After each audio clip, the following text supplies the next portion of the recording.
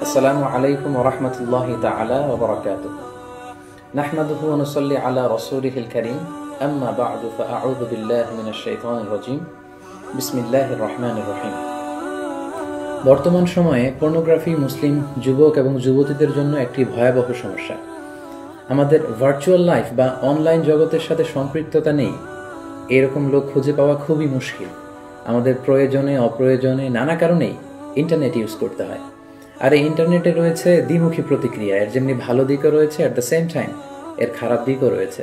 আমরা যখন ফেসবুকে ঢুকি, অনেক লোকদের সাথে আমাদের পরিচয় হয়।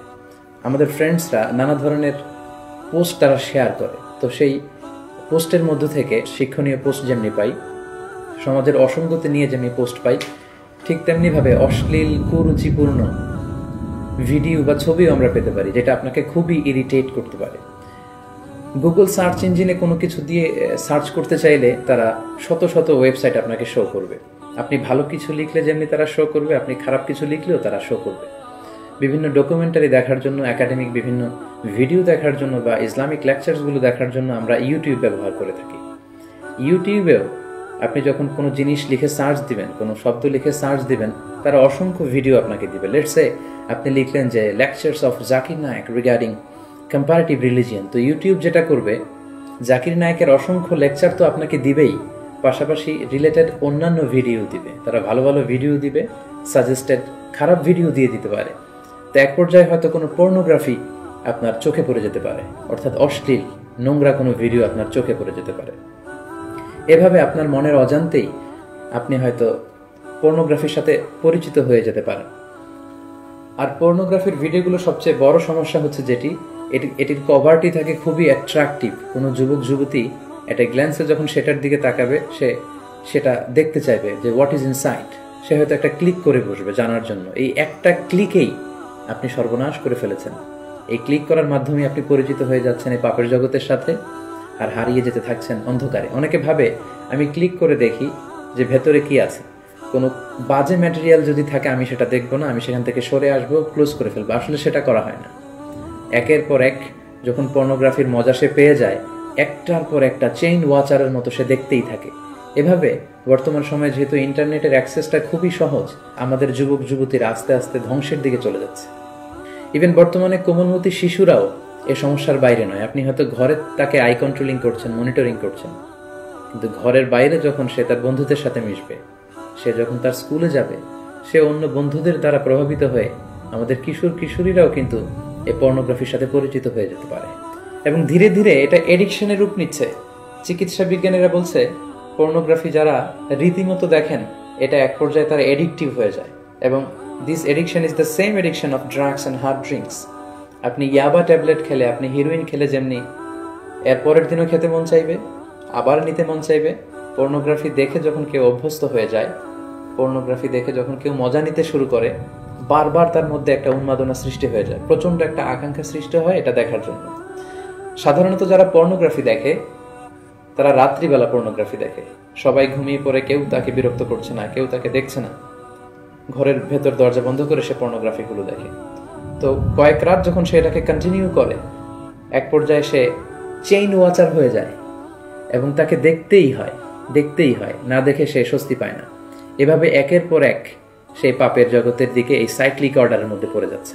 চিকিৎসা বিজ্ঞানীরা বলছেন, কোনো ব্যক্তি যখন পর্ণ ভিডিও দেখে, তখন তার মস্তিষ্কের স্নায়ু কোষগুলো থেকে এক ধরনের কেমিক্যাল রিলিজ হয়, যেটাকে বলা হয় ডোপামিন আর এই ডোপামিন হচ্ছে the same chemical when someone have the drugs কেউ যখন ড্রাগ নেয়, তখন তার মস্তিষ্কের স্নায়ুকোষ থেকে যে কেমিক্যাল রিলিজ হয়, একজন মানুষ অশ্লীল, নোংরা এবং কুরুচিপূর্ণ ছেলে মেয়েদের যুগল দৃশ্য দেখলে একই ধরনের কেমিক্যাল তার মস্তিষ্কের স্নায়ুকোষ থেকে রিলিজ হয়।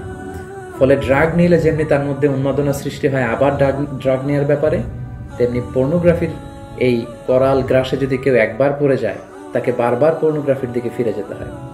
It's okay for the western society it's not a big deal for them কিন্তু পাশ্চাত্য সমাজে এটা ঠিক আছে। এটা তাদের জন্য তারা এটাকে লিগালাইজ করে নিয়েছে। ইভেন লাস্ট ইয়ারে ইউএসএ তারা গে ম্যারেজকে হোমোসেক্সুয়ালিটিকে তারা লিগালাইজ করেছে তাদের কয়েকটি স্টেটে কিন্তু আমাদের মতো একটি রক্ষণশীল সমাজে কোনো মুসলিম দেশে একজন মুসলিম যুবক, যুবতী এই ধরনের সমস্যায় আক্রান্ত হবে, এটা মোটেও কাম্য নয়।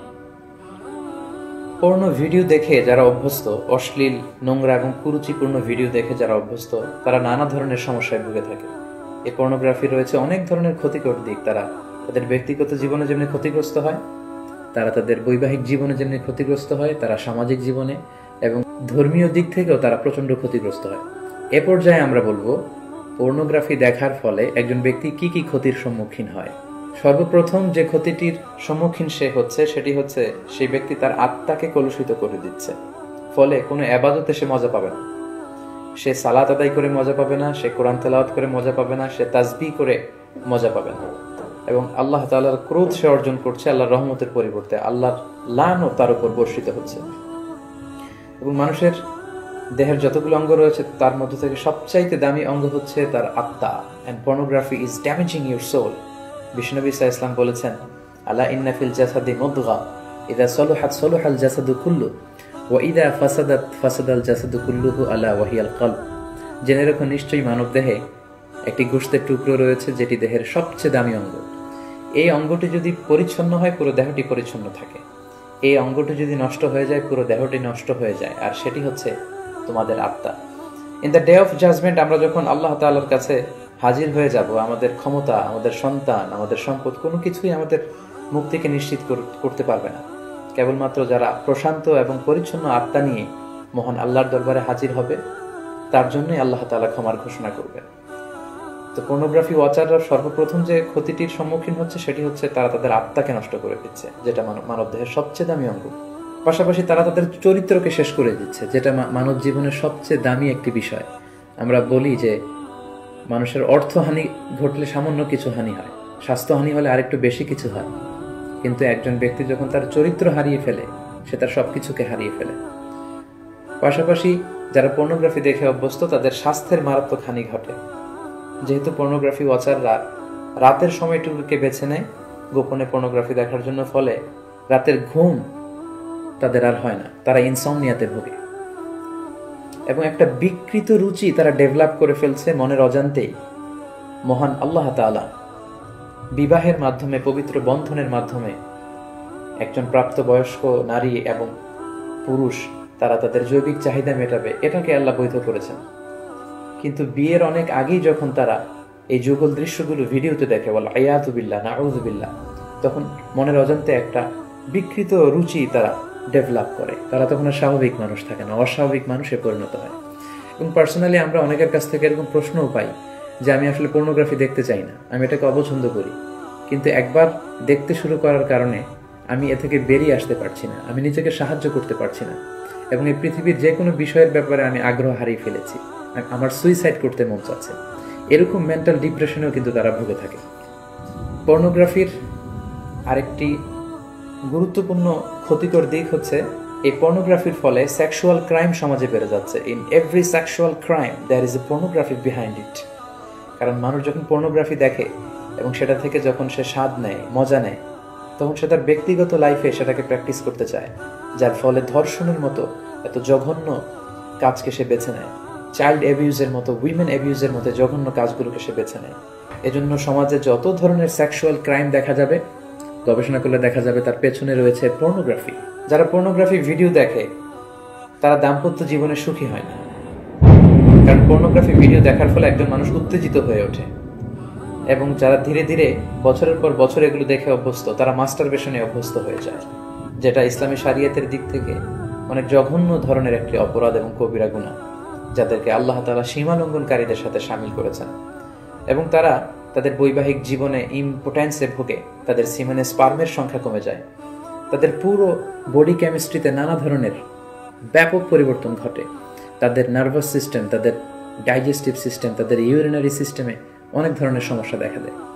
এই কমন সমস্যাগুলো যারা চেইন ওয়াচার অফ পর্নোগ্রাফি রীতিমতো এই খারাপ খারাপ ভিডিওগুলো ইউটিউবে দেখে, তারা তাদের জীবনে এই ক্ষতিগুলোর সম্মুখীন হয়ে থাকে।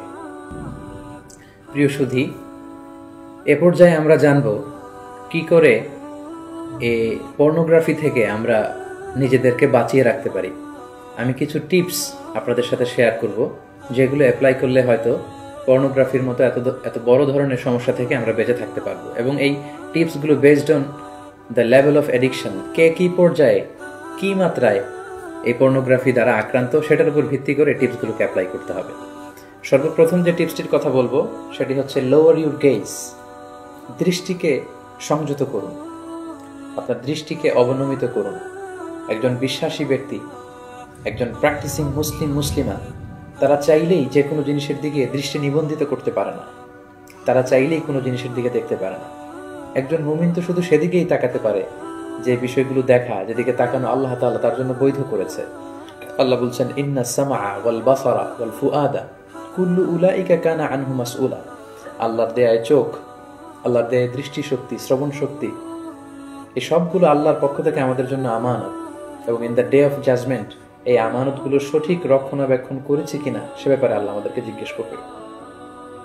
পাশাপাশি মহান আল্লাহ তালা আরও এরশাদ করছেন কুল্লিল মুমিনিনা ইয়াগুদ্দু মিন আবসারিহিম ওয়া ইয়াহফাজুনা ফুরুজাহুম। হে নবী, আপনি মুমিনদেরকে বলুন, তারা যেন তাদের দৃষ্টিকে সংযত করে। এবং তারা যেন তাদের প্রাইভেটসকে হেফাজত করে, তাদের লজ্জাস্থানের হেফাজত করে। বিষ্ণু ইসা ইসলাম তার মেয়ের জামাতা আলী রাদি আল্লাহ আনহুকে বলেছিলেন, ইয়া আলী, লা থুতবে আইন নাদারাতান নাদারা ফা লাকাল উলা ওয়া লাইসাত লাকাল আখরা।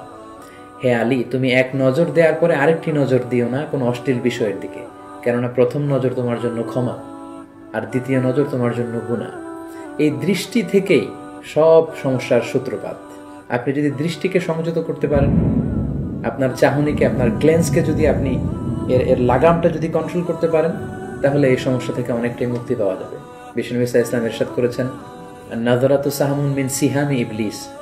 দৃষ্টি হচ্ছে শয়তানের তীরবান থেকে একটি অন্যতম তীরবান, এবং এই দৃষ্টির মাধ্যমেই শয়তান যুবক যুবতীদেরকে কাবু করে ফেলে। আমরা যখন দৃষ্টিকে সংযত করব, তখনই আমরা এই পর্নোগ্রাফি থেকে বেঁচে থাকতে পারি।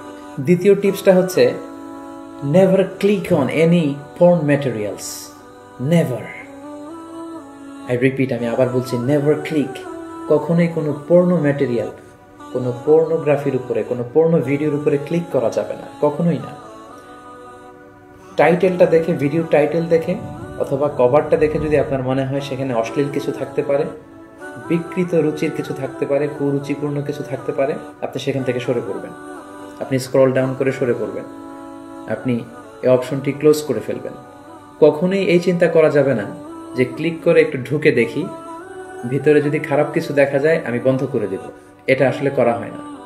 এটা অ্যাপ্লাই করা হয় না। এবং বেশিরভাগ ক্ষেত্রে এই একটা ক্লিক করার মাধ্যমেই যুবক, যুবতীরা তাদের জীবনে সর্বনাশ ডেকে আনছে। তারা পরিচিত হয়ে যাচ্ছে পাপের জগতের সাথে। তার মানে আপনি ক্লিক করেছেন তো মরেছেন। কখনোই কোনো পর্ণ ম্যাটেরিয়ালসের উপর ক্লিক করা যাবে না। তৃতীয় যে টিপসটি আমি দেব, সেটি হচ্ছে আপনারা যারা আইপ্যাড ইউজ করেন ট্যাব ইউজ করছেন ল্যাপটপ ইউজ করছেন, আপনাদের ল্যাপটপের ওয়েলকামিং নোটে লিখে রাখতে পারেন, আল্লাহ সুবহানাহু ওয়া তাআলা is watching me Allah is observing me সেক্ষেত্রে যখনই আপনি আপনার ট্যাব খুলছেন, আপনার ল্যাপটপ খুলছেন, এই ওয়েলকামিং নোটটি আপনাকে রিমাইন্ড দিচ্ছে যে, Allah is watching me Allah আমাকে দেখছে। আল্লাহ আমার সবগুলো কাজকে পর্যবেক্ষণ করছে। একজন মুমিনের জন্য যখন এই রিমাইন্ডারগুলো আসে এটা তার জন্য খুবই উপকারী। আল্লাহ বলছেন ফাদাক্কির ফাইন্না দিকরাতান ফাউল মুমিনিন। হে নবী, আপনি মুমিনদেরকে রিমাইন্ডার দিন। এই রিমাইন্ডারগুলো একজন বিশ্বাসীকে অনেক উপকার করে দেয়। অথবা আপনি বিশ্বনবী সাল্লাহ আলহিহাসাল্লামের সে বিখ্যাত সহি হাদিসটি ওয়েলকামিং নোটে লিখে রাখতে পারেন, ইত্তাকিল্লাহ হাইসুমা কুমত। তুমি যেখানেই থাকো না কেন, আল্লাহ তা, তুমি যেখানেই থাকো না কেন, আল্লাহ তালাকে ভয় করো। পৃথিবীর কেউ দেখছে না। দরজা জানালা বন্ধ করে আপনি দেখছেন। পৃথিবীর কেউ আপনাকে দেখছে না। দরজা জানালা বন্ধ করে আপনি এই অশ্লীল ভিডিও দেখছেন। কিন্তু আপনাকে মনে রাখতে হবে, পৃথিবীর কেউ যদি নাও দেখে, আমাদের স্রষ্টা আল্লাহ তালা কিন্তু দেখছেন। এজন্য এ জাতীয় ওয়েলকামিং নোট একটা রিমাইন্ডারের কাজ করবে। অথবা আমরা কোনো স্টিকারে লিখে আমাদের রিডিং রুমে আমাদের ড্রয়িং রুমে অথবা আমাদের বেডরুমে আমরা ওয়ালের সাথে ঝুলিয়ে রাখতে পারি যে Allah is watching me Allah আমাকে দেখছেন। এই ভয়টা একজন বিশ্বাসীকে অনেক পাপ থেকে বাঁচিয়ে রাখতে পারে, ইনশাআল্লাহ। যাদের খুব বেশি সমস্যা, যারা অনেক দিন ধরে পর্নোগ্রাফির সমস্যাতে ভুগছেন এবং এই সাইক্লিক অর্ডার থেকে বের হয়ে আসতে পারছেন না, তারা একাকী সময় কাটাবেন। না একাকী যত কম সময় আপনারা আপনাদের বেডরুমে কাটাতে পারেন, সেটাই সবচেয়ে মঙ্গলজনক। আপনার ঘুমের সময় হলেই শুধু আপনি আপনার বেডরুমে যাবেন, তাছাড়া বাকি সময়গুলো আপনি গ্রুপ স্টাডি করে কাটান। আপনি লাইব্রেরিতে পড়াশোনা করতে পারেন। মসজিদে যত বেশি সময় কাটানো যায়, ততই কল্যাণকর। মসজিদে বসে আপনি কোরআন তালাওয়াত করতে পারেন। আপনি নানা ধরনের ভলান্টিয়ার অ্যাক্টিভিটিতে জড়িত হতে পারেন।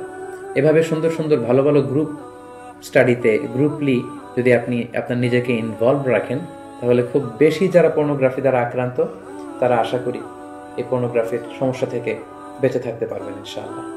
তারপরে যেটি বলব টিনেজারদেরকে কিশোর কিশোরীদেরকে স্মার্টফোন দেওয়ার কোনো দরকার নেই। তাদেরকে খুব সিম্পল ফোন ব্যবহার করাতে অভ্যস্ত করে দিন। এবং ঘরে ল্যাপটপের পরিবর্তে ডেস্কটপ ব্যবহার করুন। এবং desktop should be in the drawing room not in the bedroom এমন এক জায়গায় আপনি ডেস্কটপকে সেট করে দেন, যাতে যে কেউ সেটা ব্যবহার করবে, সবার দৃষ্টিগোচর হবে। আর কোনো কারণে যদি তাদেরকে, কিশোর কিশোরীদেরকে টিনেজারদেরকে যদি স্মার্টফোন দিতেই হয়, ল্যাপটপ দিতেই হয়, তাহলে আপনাকে মনিটরিং করতে হবে। আপনাকে আই কন্ট্রোলিং করতে হবে।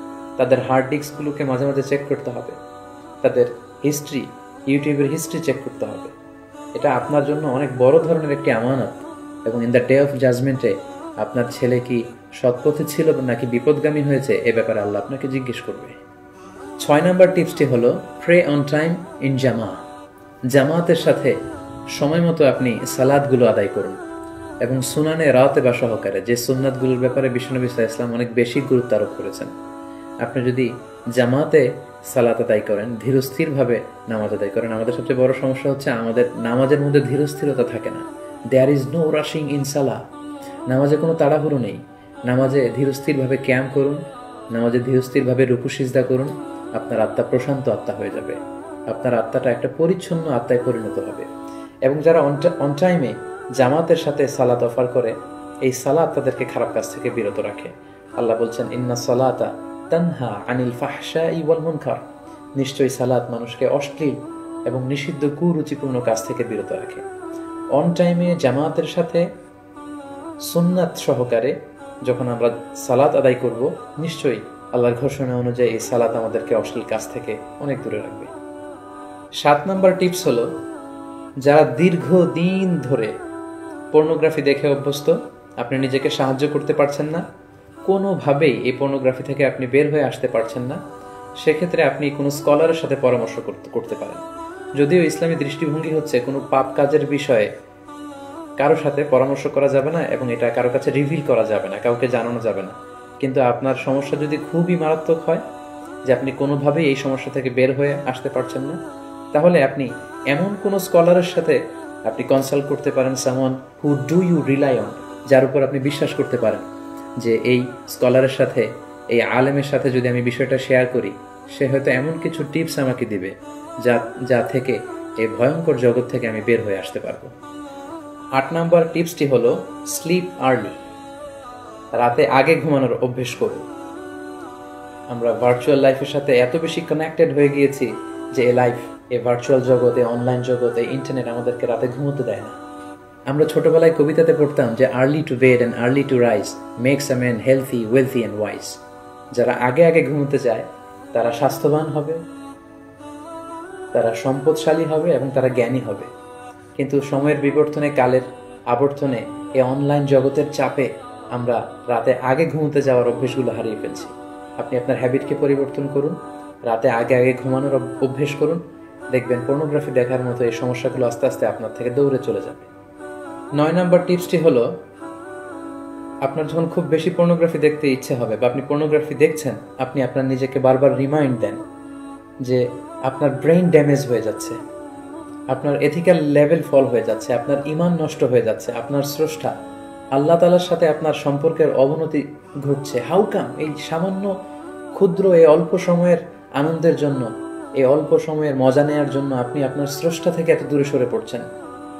And pornography is damaging your ইমান আপনার এথিক্যাল লেভেলকে নিচে নামিয়ে দিচ্ছে, আপনার ব্রেনকে শেষ করে দিচ্ছে, আপনার ফিউচার ক্যারিয়ারকে শেষ করে দিচ্ছে। আপনি বারবার নিজে নিজেকে রিমাইন্ড করুন। এই রিমাইন্ড করার মাধ্যমেও এক পর্যায়ে হয়তো আপনার বোধ উদয় হতে পারে। পর্নোগ্রাফি থেকে বেঁচে থাকার জন্য সর্বশেষ যে টিপসটি আমি দিব, সেটি হচ্ছে আল্লাহ তালার কাছে সাহায্য চাওয়া এবং আল্লাহর কাছে দোয়া করা। আমাদের সর্বোচ্চ, আমাদের সাধ্যে যতটুকু রয়েছে, তার সবটুকু দিয়ে আমরা চেষ্টা করে আমরা কায়মনোবাক্যে চোখের পানি ছেড়ে আল্লাহ তালার কাছে দোয়া করতে পারি। যে আল্লাহ, আমি জীবনে যা করে ফেলেছি সেগুলোর জন্য আমি আপনার কাছে ক্ষমা চাই। আমি আপনার কাছে সাহায্য চাই। আমি যেন পর্নোগ্রাফির এই ভয়ঙ্কর জগৎ থেকে বেরিয়ে আসতে পারি। আমি যেন আমার দৃষ্টিকে হেফাজত করতে পারি। কেননা আমাদের চেষ্টাগুলোই, আমাদের টিপসগুলোই যথেষ্ট নয় যদি না আল্লাহ তালা আমাদেরকে সাহায্য করেন। এজন্য আসুন এই টিপসগুলো অ্যাপ্লাই করার পাশাপাশি আমরা আল্লাহর কাছে সাহায্য চাই, আল্লাহর কাছে ক্ষমা চাই এবং একটা প্রচণ্ড আত্মবিশ্বাস গড়ে তুলি যে যে কোনোভাবেই হোক এই পর্নোগ্রাফি থেকে আমাকে বেঁচে থাকতে হবে। তাহলে আশা করি এই পর্নোগ্রাফির সমস্যা থেকে আমরা বের হয়ে আসতে পারব। প্রিয় সুধী পর্নোগ্রাফি যারা বানাচ্ছে, এই porn ইন্ডাস্ট্রিগুলো is the same industry who makes film against our professor Islam এই পর্ন ইন্ডাস্ট্রিগুলো কিন্তু বিশ্বনবীর বিরুদ্ধে কার্টুন বানাচ্ছে বিশ্বনবীর ব্যাপারে তারা ছবি বানাচ্ছে। সো এক একটা পর্নোগ্রাফি দেখার মাধ্যমে এক একটা ক্লিক করে আমরা তাদের ভিউয়ারের সংখ্যা বাড়িয়ে দিচ্ছি।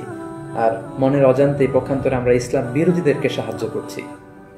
আসুন, এই পর্নোগ্রাফির মতো ভয়াবহ সমস্যা কি করে সমাজ থেকে দূর করা যায়? কি করে আমাদের মুসলিম ভাই বোনদেরকে এর করাল গ্রাস থেকে হেফাজত করা যায়, রক্ষা করা যায়? সে ব্যাপারে আমরা সচেষ্ট হই। আমরা একে অপরকে সহযোগিতা করি। তাই আসুন আমরা দৃঢ় প্রতিজ্ঞাবদ্ধ হই যে যে কোনোভাবেই হোক এই পর্নোগ্রাফিকে আমাদের না বলতে হবে। তারা সবাই ভালো থাকবেন সুস্থ থাকবেন সুন্দর থাকবেন। আসসালামু আলাইকুম রহমতুল্লাহ তালা বারকাত